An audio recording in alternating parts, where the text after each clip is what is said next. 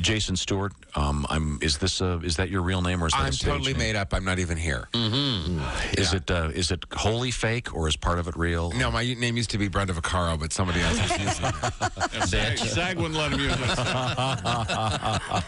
I think Louis is just looking very attractive. You know, you are, and I'm just. I, I'm wondering why we're not on the road together. I think we should be. It should be the family man and the not. I think it's fear. You think I'm afraid of him?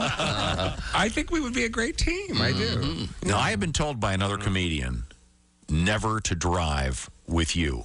Oh, I'm the worst driver that ever lived. Oh, so this is true then? oh, really? You haven't heard about that? I, I really, I'm just a bad driver. And in Los Angeles, all the cops know me. Every time they see me, you know, it's, ah, Jason, get out of the car. Really? Oh, yeah, they stop crying. Uh, yeah. Assume the position because there's some perks. Uh, but now we have a thing called photo tickets. You've heard of the photo ticket, right? Yes. What happens is you drive through a red light, they snap a picture of you, and then they send it to you in the mail. So I sent them a picture of some money. you at home? Can you do this? No, you can't. Because it takes hours and hours of time for a homosexual to sit in front of the mirror and do this because he's obsessed with the Bewitched. I, I was on the close just a guest star with Kyra Sedgwick. That was a lot of fun. And I actually played a heterosexual, I think, because I was told by Facebook. Right. Yes, you're all so cute. And look at this with the red and the cherries and the, the baskets and the pillows and the candles. I feel like I'm in the inside of a vagina.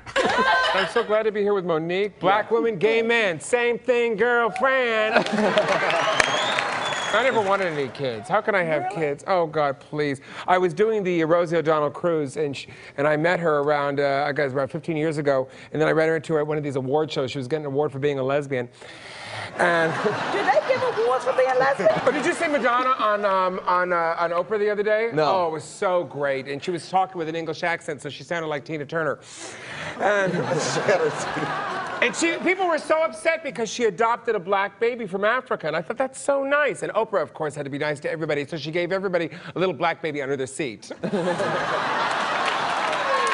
What's better, goodbye sex or welcome home sex? If you've been a good boy and you've abstained for the week while they've been gone, then obviously you've got the Welcome home. release. wait, you've wait, got wait. the What, what's home. the deal with you and her? I have to know. So you guys have a little out of town. I can do whatever I want. No, no, no, no, no, no, no. I'm just. She's been going. I don't care. Whew, I I'm don't covering Do my ass. That's what I'm doing. I'll cover your ass. Let me ask you this.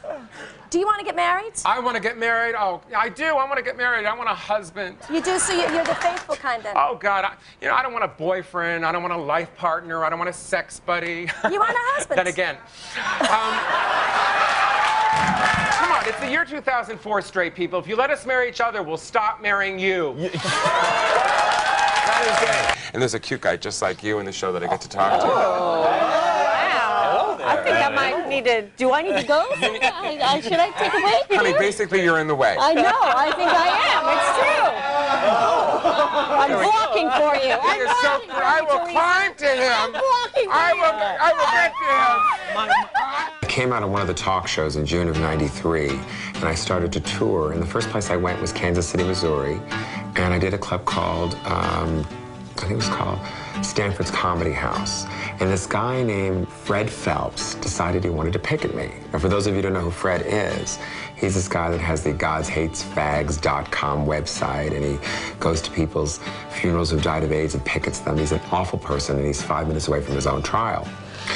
And I had no idea how it would make me feel having all these people in front of the club picketing me. And it really scared me because I was beat up a lot as a kid for being gay, and it brought back a lot of really uncomfortable memories. But across the street were these kids picketing the picketers, carrying signs with covers of videos of movies that I had done, and they asked for autographs and were so, so sweet and so supportive. And it was just so touching. And then I walked into the club, got ready to do my show. And before I went on, I got a standing ovation. Before I said a word, I had no idea the power of coming out. I'm Jason Stuart, and you're watching In the Light.